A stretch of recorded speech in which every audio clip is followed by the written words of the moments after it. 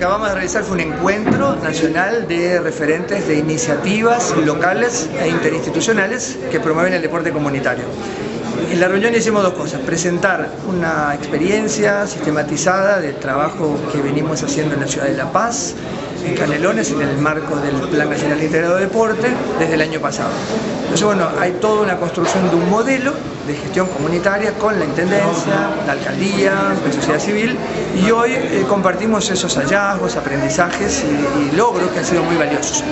Y a la vez eh, compartimos el proceso que arrancamos el año pasado, en octubre, cuando hicimos un foro en esta misma sala, también de iniciativas locales, Ahí se presentaron 18 iniciativas y hemos venido caminando, acompañando esas 18 iniciativas en todo el país, con muchísimas organizaciones y, involucrando alrededor de 18.000 beneficiarios directos.